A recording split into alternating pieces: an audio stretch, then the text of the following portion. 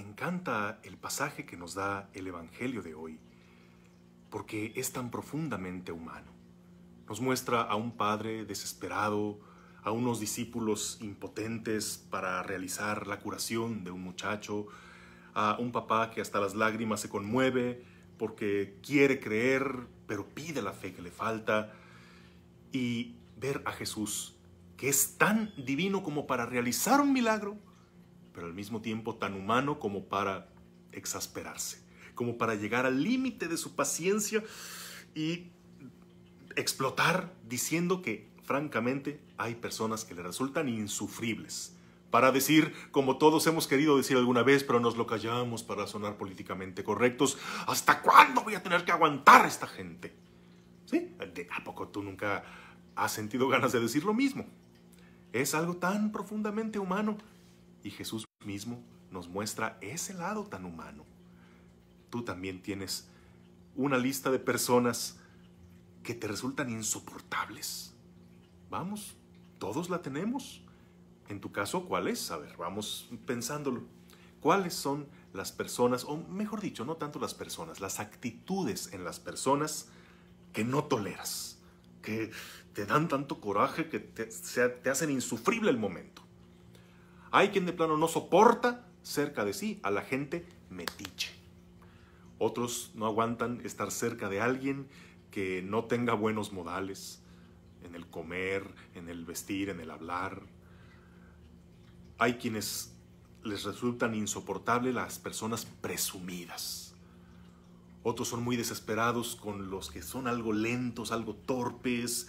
Eh, otros mm, resulta que, que, no aguantan a los que se la pasan quejándose, los que se, hacen las víctimas y que ay, son el club de la lágrima perpetua. No creo que haya muchos que toleren a la gente falsa e hipócrita. En fin, cada quien podrá enumerar su lista de gente que no soporta. Y esa lista podría ser larga y ponerte a pensar, ay, qué sangrón, qué quisquilloso soy.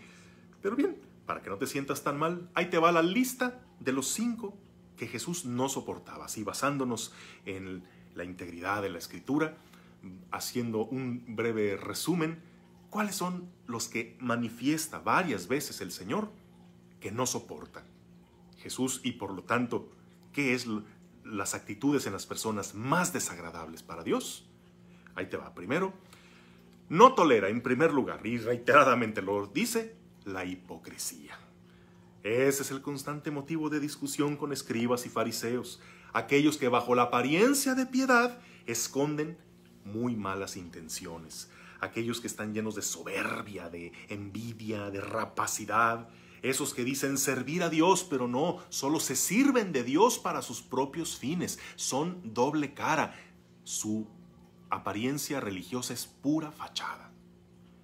Segundo, Jesús no se puede entender con los legalistas, aquellos que son bien duros jueces para imponer la ley a los demás, pero ellos ni con el dedo las quieren mover.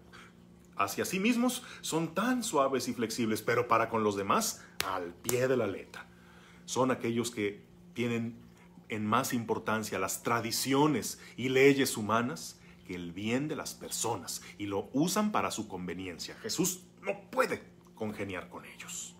Tercero, a Jesús le harta el culto vacío. Cuando pretendemos quedar bien con Dios, aunque tengamos las manos llenas de sangre. Esto reiteradamente lo escuchamos de Dios por boca de los profetas. Pasajes donde el Señor de plano dice, estoy harto de sus sacrificios, de su incienso, de la sangre que me ofrecen de animales. Mejor habían de ponerse a practicar la paz y la justicia.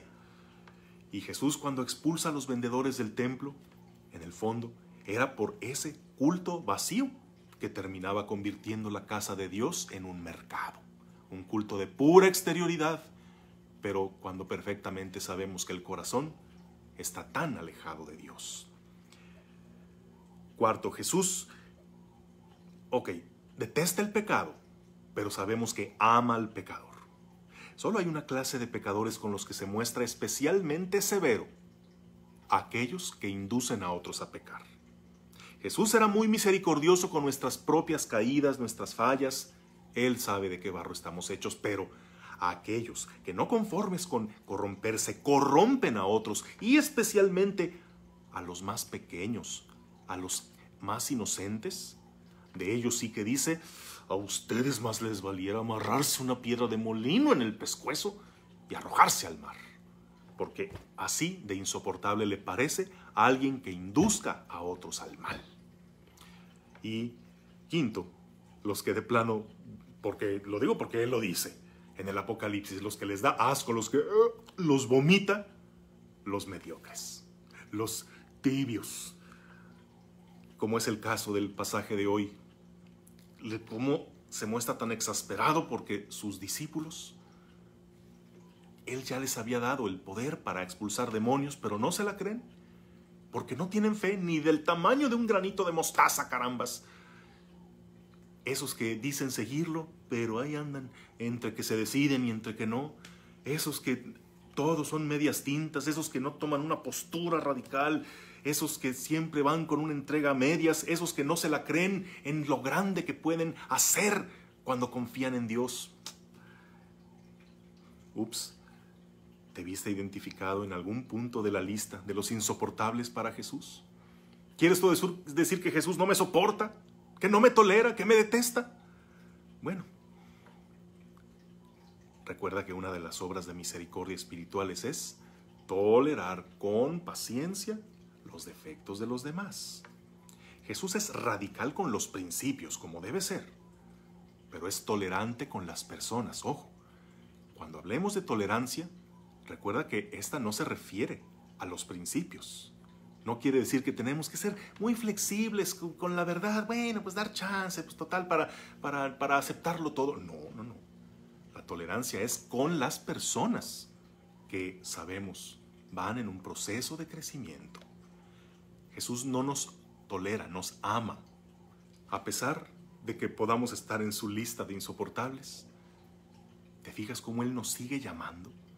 ¿Cómo Él sigue confiando en nosotros y por eso nos perdona una y otra vez?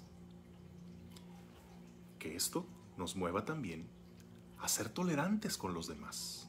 Todos en algún momento somos insoportables para alguien. ¿Tú consideras insoportables ciertas personas? Te aseguro que tú también lo eres para alguien más. ¿Cuál es el secreto de Jesús?